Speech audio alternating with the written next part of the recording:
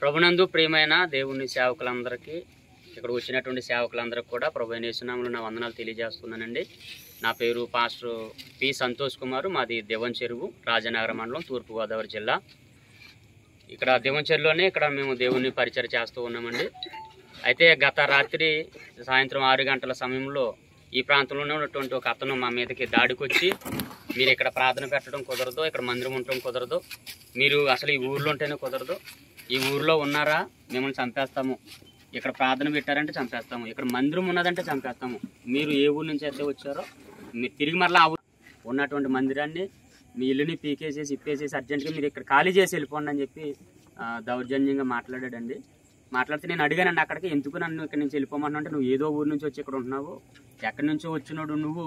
ఇక్కడ ఇల్లు కట్టుకోవడం ఏంటి? ఇక్కడ మందిని కట్టుకోవడం ఏంటి? ఇక్కడ సంఘం పెట్టడం ఏంటి? నువ్వు ఇక్కడ ఉండటం కుదరదు అని చెప్పి బూతులు మాట్లాడాడండి బాగానే. ఈలోగా పాస్టమ్ గారు వచ్చి అన్నయ్య అలా మాట్లాడుతున్నావు ఏంటి? బూతులు మాట్లాడుతున్నావు? మేము ఇక్కడికి వచ్చి మేమేమైనా తప్పు చేసామో? ఏంటి అసలు ఎందుకని నువ్వు అలా బూతులు మాట్లాడుతున్నావు? అని అడిగి అడిగిందండి ఇవి అడిగితే ఈ మీదకి దురిసి వెళ్ళిపోయాడు. మీదకి వెళ్ళిపోతుంటే నేను అన్నాను ఏమండి అలా మీదకి వెళ్ళకుండా ఆడవాళ్ళ మీదకి ఏదైనా విషయం ఉంటే చెప్పండి మాటలో ఏంటో చెప్పండి అని అన్నానండి. అంటే వెంటనే అక్కడ నుంచున్నటువంటి నన్ను అక్కడి నుంచి కొట్టుకుంటే ఇక్కడ తీసుకొచ్చాడండి.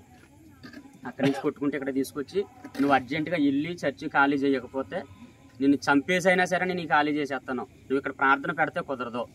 నువ్వు మందిరం ఇక్కడ ఉంటే కుదరదు. అసలు మందిరం ఉండడానికి ఇర్లేదు ఇక్కడ. నువ్వు ఇక్కడ ప్రార్థన పెట్టడానికి ఇర్లేదు అని మళ్ళా కొట్టి మూడోసారి మళ్ళీ కొట్టాడండి. అంతలోకి ఈమె ఆ పక్కిల్లండి ఏముంది? ఈమె గబగబ వచ్చి ఒరే తమ్ముడు ఎలా కొట్టేస్తాను ఉంటారా ఫాస్ట్గానే చేయి చేసుకోకూడదు తప్పు పట్టు పట్టి పట్టించుకోకూడదు అని చెప్పి అన్నదండి అలాగన్నందుకు నా నా తరపున మాట్లాడిందని ఈమెను ఇక్కడ మా ఇంటి దగ్గర నుంచి వాళ్ళ ఇంటి వరకు గెంటుకుంటూ తీసుకెళ్ళిపోయాడు ఆయన అనే మాట మెయిన్ ఏంటంటే నువ్వు ఇక్కడ ప్రార్థన పెట్టొద్దు ఇక్కడ సర్చ్ ఉంటే కుదరదు. ఈ ఊరు నుంచి మేము ఊరు వెళ్ళిపో. అదండి. మేము ఈ ఊరు వచ్చి ఇంచుమించు పదమూడు సంవత్సరాలు అవుతుందండి ఇప్పటికి. ప్రైజ్లో ఈరోజు మరి తూర్పుగోదావరి జిల్లా దివాన్ చెరువు పాలవంచ. దివాన్ చెరువు గ్రామం.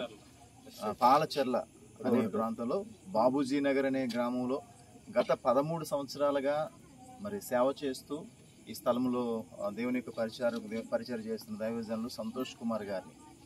ఒక వ్యక్తి ఈ గ్రామంలోనే ఉన్న ఒక వ్యక్తి.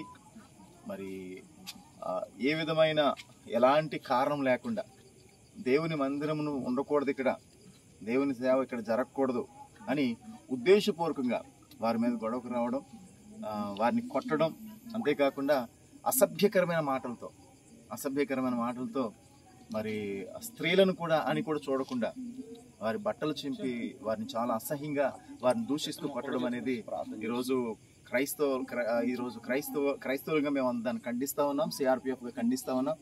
ఈ విషయంలో వీరికి న్యాయం జరిగే వరకు కూడా సిఆర్పిఎఫ్ పోరాడడానికి ఇష్టపడతా ఉన్నాం. దయచేసి ఇది మన క్రైస్తవులందరూ కూడా ఖండించవలసిన విషయం ఇది.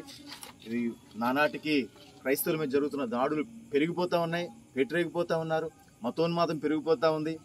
ఈరోజు ఈ దినమందు జరిగిన ఈ సంఘటన ఇది చాలా భయంకరమైన సంఘటనగా ఈరోజు మేము దృష్టిస్తూ ఉన్నాం. కనుక దయచేసి ఈ విషయంలో ప్రతి ఒక్కరు స్పందించండి. ప్రతి వస్తువులు ప్రతి ఒక్కరు కూడా క్రైస్తవులు అందరూ కూడా సమైక్యంగా ఉండండి. ఈరోజు మతోన్మాదులు చెలరేగిపోతూ దేవుని మందిరాల మీద దేవుని సేవకుల మీద దాడి చేస్తూ ఉన్నారు. ఈ విషయంలో ప్రతి ఒక్కరు కూడా కలిసికట్టుగా మరి మనం వారి పక్షాన నిలబడవలసిన బాధ్యత భారం మనకు ఉంది ప్రత్యేకంగా సంతోష్ కుమార్ గారి కొరకు వారి పరిచయ కొరకు కూడా మరి ప్రతి ఒక్కరు కూడా ప్రార్థన చేయండి.